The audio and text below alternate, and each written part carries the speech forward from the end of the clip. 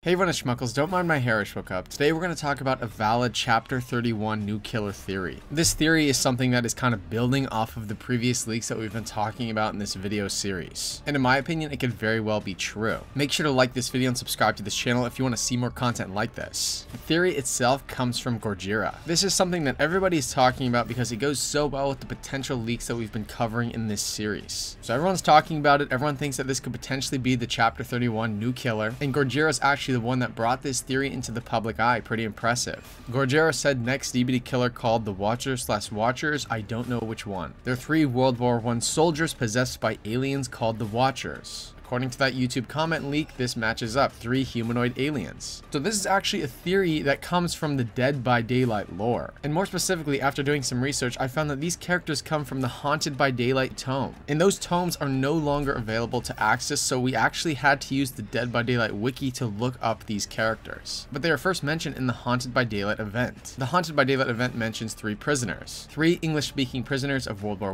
I who were taken into the fog. In search of a lost temple, they were captured by by the enemy. After witnessing two of their companions executed and barely escaping their pursuers, they fell into the temple they sought and into the entity's realm. During the Haunted by Daylight event, the three watchers entered their minds and they created the esoteric hooks and esoteric generators in an attempt to open a doorway home. And for the three watchers, these are three unseen individuals who entered the minds of the three prisoners. They have some unknown end goal in mind involving the devices attached to the esoteric hooks and esoteric generators. So if you consider the three watchers who entered the minds of the three prisoners prisoners to be aliens of some sort, this could be something that is absolutely in line with the previous potential leaks that we've been covering. A lot of people thought that Gorejira might actually be kidding about this tweet, because Gorejira posts a combination of jokes as well as real potential leaks. Gorejira said, I'm not trolling by the way, if I was trolling, I'd at least include a punchline. Even if Gorejira is trolling or not trolling, the bottom line is this actually comes directly from the Dead by Daylight lore, and it does seem to match up with the previous potential leaks that we've gotten. So what I'm saying is even if people think that this was a total troll post, it still works really well as a potential new killer theory for Chapter 31. You know, I actually looked this up online just now, and apparently that these watchers are actually from the event Tome 3 in the Haunted by Daylight 2022, not 2023. And this is when the lore mentioned these three watchers. This is in the third tome entry something, Wicked All Hallows Eve. The cloak survivor moved through the fog trying to destroy the devices before it was too late. But the survivor's attempt have been marred by three watchers who somehow had entered the minds of the prisoners. Through memories, visions, and dreams, they had been made to believe harnessing dark energy was their only chance to escape that the devices would somehow open a doorway back home. But the cloak survivor knew better. The cloak survivor could see the dark energy and was doing something else to the world, and that the three watchers had something more wicked in mind.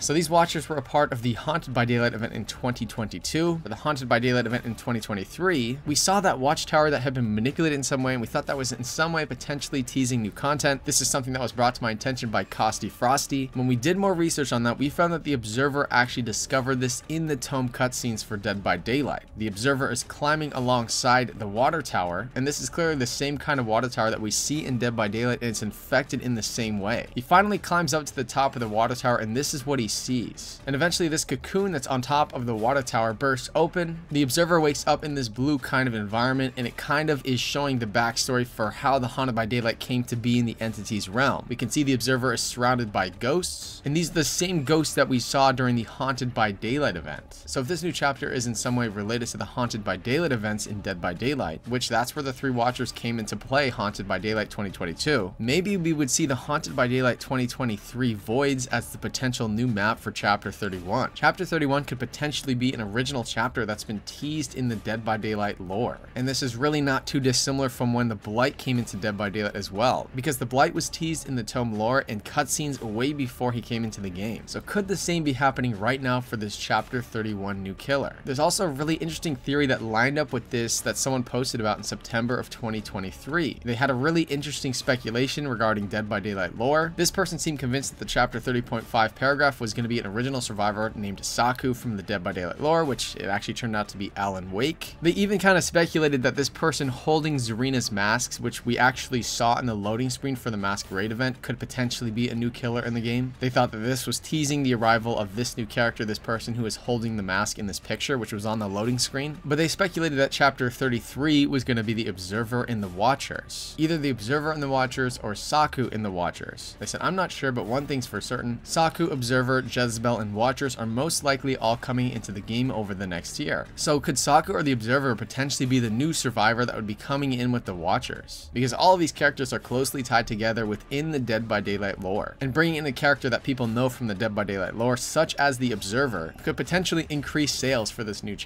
And what do you think about the Haunted by Daylight 2023 Void coming in as a brand new map? It definitely kind of strikes me as like an area of crows kind of map with a bluish tint. There's all sorts of things floating into the air, and the structure seems to kind of look like that similar graveyard look. And to be honest, I think it might kind of be a little bit lackluster, because this is something that we've already actually experienced and already played on during the Haunted by Daylight event 2023. So if behavior were just to bring in a larger version of the Void just sort of as its own standalone map, it's really something that we've already seen and experienced, so it wouldn't really feel that new necessarily. Let me know what you think about all this in the comment section below. How is everyone feeling about those potential leaks? If we assume that the potential leaks are accurate, do you think that the new killer for chapter 31 is going to relate to the Watchers from the Dead by Daylight lore? Make sure to like this video and subscribe to this channel if you want to see more content like this. That does it for this video. Goodbye.